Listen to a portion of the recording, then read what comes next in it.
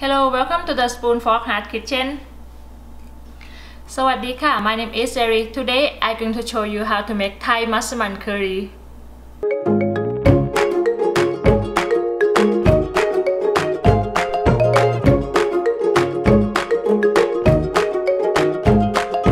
This recipe we use a lot of herb and all the spice. So it's everything is good for your body. Today we're using a lot of herb but no worry. I will put everything every ingredient inside my website. So go check on the website. And now I separate some herb that I'm gonna uh, use just for the whole thing. So I separate them. And for this I gonna grind them. Okay and now I gonna grind all this herb turn to be the powder. But for the cardamom seed you can remove the shell you can remove all the shell and you're just gonna use a, just a seed inside here. This will give you really good uh, fragrance inside here.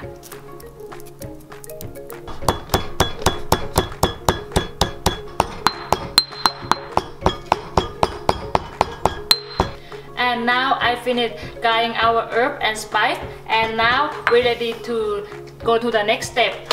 First I'm gonna add a little bit of coconut oil about 2 tablespoons and next add our red curry. Okay stir this red curry until the oil change the color and all the fragrance coming out from the curry.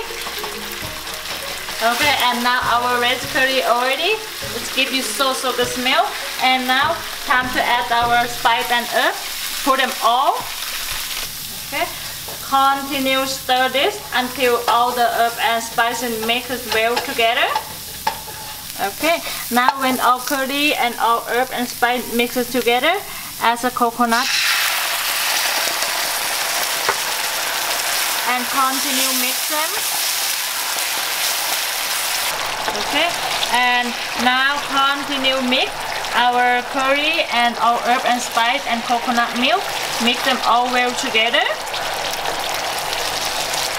okay and now our coconut milk and the curry already mixed well together all the oil separate. And now I'm gonna start asking our chicken. Use the chicken thigh and you can use beef if you like or you can use lamb you can use any kind of your favorite meat. So now I'm gonna add so I have the small pan I'm gonna add three pieces at a time and allow them to cook inside the oil coconut coconut milk and all the curry to sear a little bit a chicken. Okay and next now you allow the chicken to sear inside the coconut milk and the curry. Now we ready to move into the pot. Okay move your chicken into the pot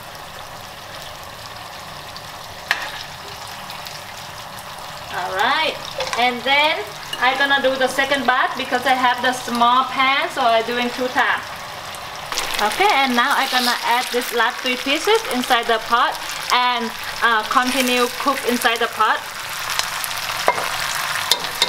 Easy for you. I'm gonna move for you so you can easy to see. Okay so now I'm gonna move remove everything from the pan and I'm gonna start cook inside a pot and now we can start as our next ingredient. All the herb and spice the we separate and earlier. I separate the, the big pieces the herb and spice because you can pen, uh, present tension for your curry. It's a look prettier when you separate the big pieces the herb. And next our coconut milk again. Mmm creamy. As it's creamy and our chicken stock.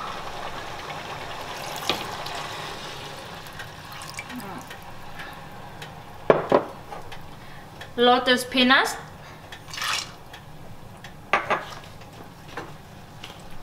Our potato and onion. Cut in big chunk. Same when you make your stew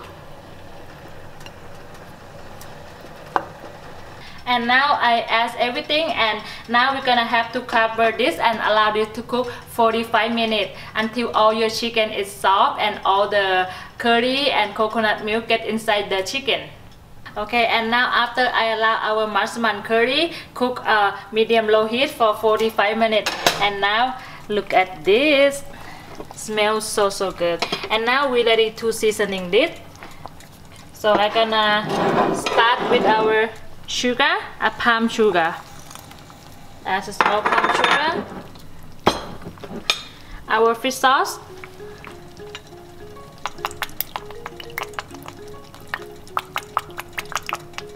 When you use a fish sauce, try, try to use a good quality fish sauce. It's a, a lot different. Tamarind sauce. A little bit of salt. And now I'm gonna give this a good mix. After put all the seasoning inside the, our massaman curry, give this a quick taste if you're happy with this. And now I'm gonna give this an, a cover and I let this simmer another 15 minutes. After we let all our massaman curry cook and now time ready. Oh look how pretty now I believe all the chicken is gonna be so soft and they're all gonna melt into your mouth. And all the curry and all the coconut milk they look so yummy now. I can't wait to try this. Wow I ready to try this. Get your rice ready and now I gonna get one piece of the the chicken thigh. Okay one potato okay now I'm ready to try this. I'm gonna oh look how this chicken. Is soft and easy to dig it in. Chicken peanut. I want a little bit of potato too.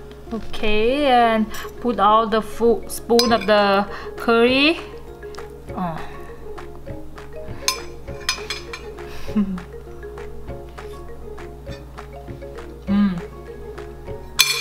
Hot. But it's so good. Mm. I cannot finish. I cannot.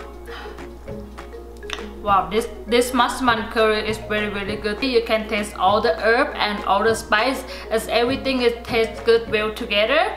And also you can eat this with um, naan or roti or you can eat it with base too. Or if you uh, like the to eat with the jasmine rice this will be perfect too if you like this recipe if you like this video please give me a thumb up subscribe and you'll see me for the next recipe. Thank you